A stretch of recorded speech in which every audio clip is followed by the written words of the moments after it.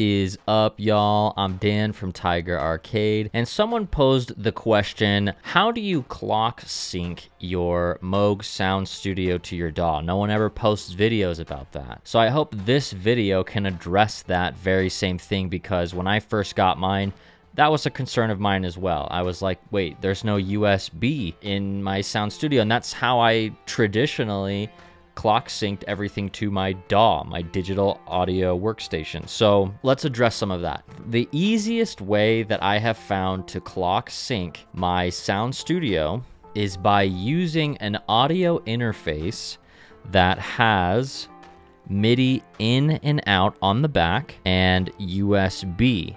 So let me break that down. Um, USB, you'll connect this to your computer, and then from your computer, you'll choose this as the input device so that you can record into it. And then from there, you want to make this the MIDI device sending MIDI out.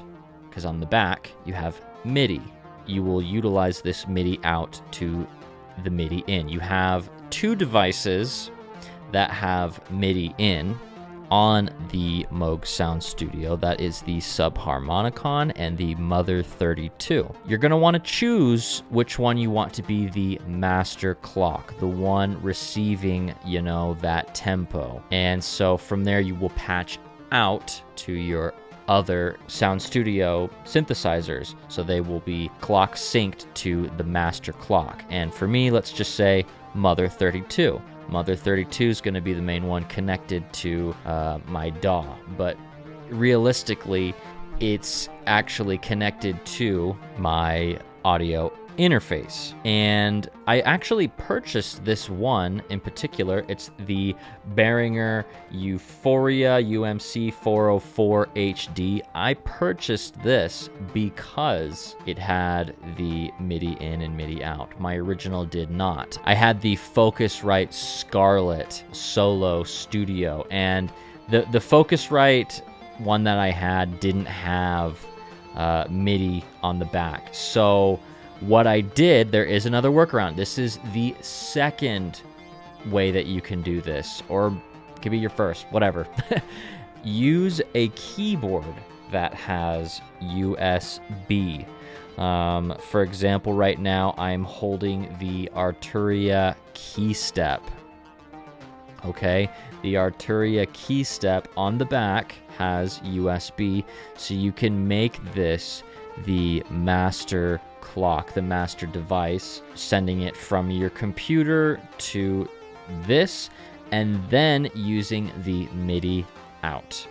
Also, you don't have to do that. This is something else that I've done is you can patch into this using sync, um, using CV controls. So um, you could use this, you can use another synthesizer.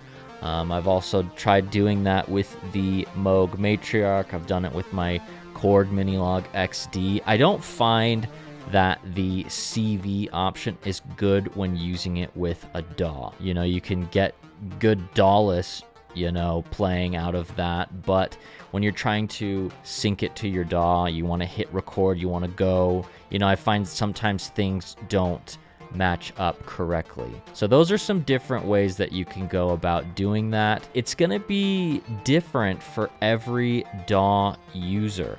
I use Logic Pro X.